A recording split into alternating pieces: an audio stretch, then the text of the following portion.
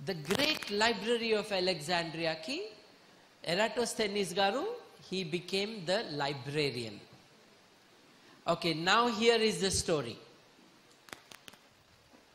ఈయన ఆ లైబ్రరీలో బుక్ చదువుతా ఉంటే అలెగ్జాండ్రియాకి కొంచెం దూరంలో సైన్ అన్న ఊళ్ళో సమ్మర్ సాల్స్టిస్. సమ్మర్ సాల్స్టిస్ ఎప్పుడు? Do you know what a summer solstice is winter solstice is summer solstice అంటే ఆ రోజు ఆ సంవత్సరంలో will be the longest day winter సాల్స్టిస్లో that day will be the longest night మనకి longest night twenty first twenty second December అయితే longest day ఎప్పుడు?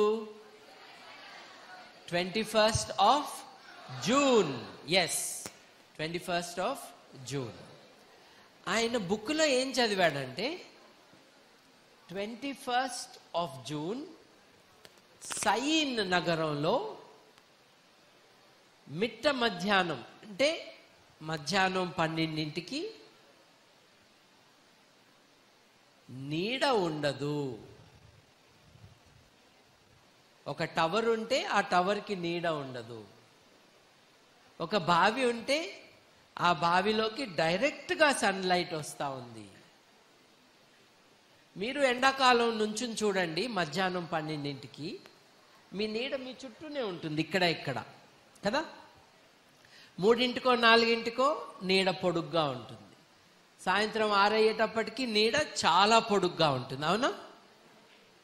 మనం ఏం చేస్తాము? నీడను చూసి ఏమీ చేయం. అవునా? నీడను చూస్తాము వెళ్తా వెళ్తా ఒక రాయి కనిపిస్తే దాన్ని తన్నుదంతం వెళ్ళిపోతాం. అంతే కదా? That is the difference between ordinary people like us and geniuses ఆయన ఏం చూశాడంటే ఓహో మిట్ట మధ్యాహ్నం సయీన్ నగరంలో ఇరవై ఒకటి జూన్న అంటే ఇవాళ ఇరవై ఒకటి జూన్ అప్పుడు solstice was a different date but it was solstice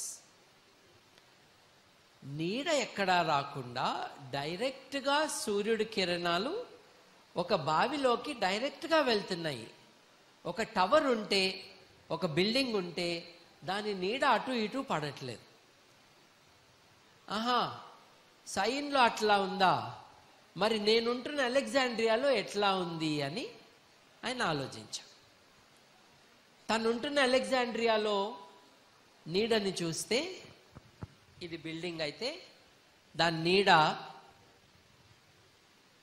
ఇలా వాలుగా పడుంది.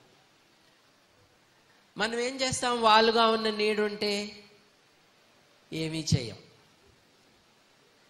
ఏం చేశాడు? ప్రొట్రాక్టర్ తెచ్చి ఏ యాంగిల్లో ఆ నీడ వచ్చిందో చూశాడు. చూస్తే seven point two degrees angle అని తెలుసుకున్నాడు దాని అర్థం ఏంటంటే భూమి బల్లపరుపుగా ఉంటే ఇక్కడి నుంచి రేస్ ప్యారలల్గా రావాలి ఇక్కడి నుంచి రేస్ ప్యారలల్గా రావాలి. అవునా? కానీ ప్యారలల్గా వస్తున్నట్లేదు ప్యారలల్గా వస్తే రెండు చోట్ల నీడ ఒకే రకంగా ఉండాలి లేకపోకూడదు అప్పుడు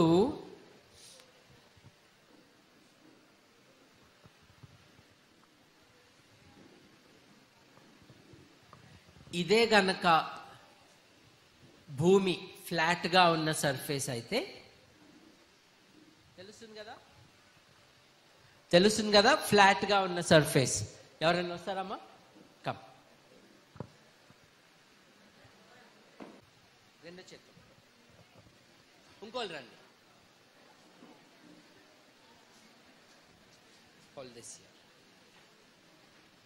ఇదే గనక భూమి సర్ఫేస్ అయితే అలెగ్జాండ్రియా ఇక్కడుండి సైన్ ఇక్కడుంటే సూర్యుడు ఎక్కడి నుంచో కాంతి ప్రసరిస్తున్నాడు కాబట్టి ప్యారలల్గా రావాలి రేస్ కదా. అలా ప్యారలల్గా వస్తే ఇక్కడ నీడ ఇక్కడ నీడ సేమ్గా ఉండాలి. అవునా? కానీ సేమ్గా లేదు. Seven point two degrees difference ఉన్నది. ఎలా సాధ్యం?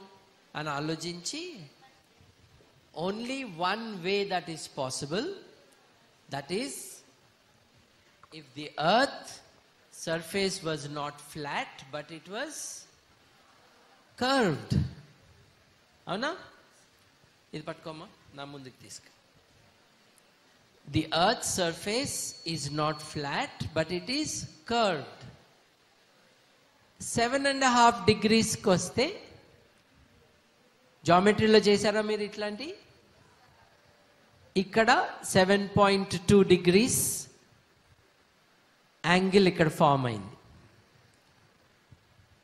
ఈ డిస్టెన్స్ ఎంతో మనకు తెలుసు కదా?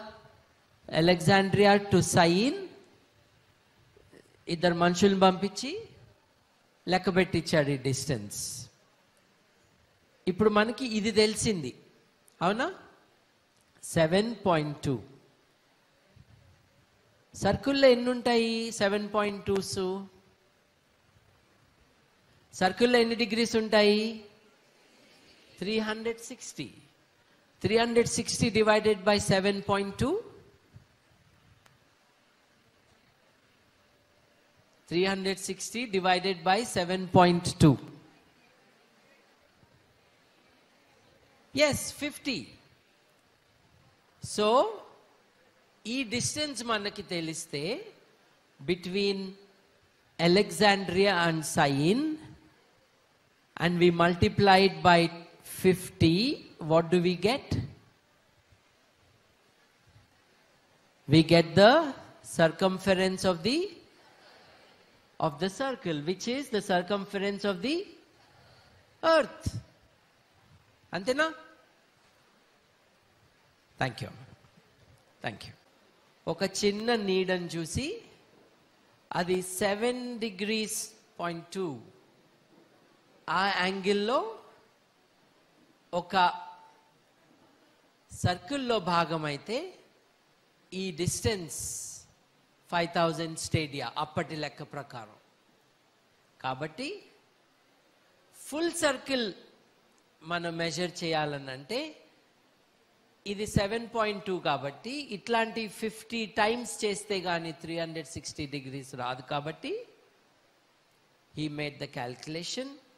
and he calculated the circumference of the earth to be 2 lakh 50,000 stadia, which in today's calculations is 40,000 kilometers. ఏంటిది two thousand two hundred years ago a man looked at a shadow, just a shadow. He took a protractor and he found out the size of the earth.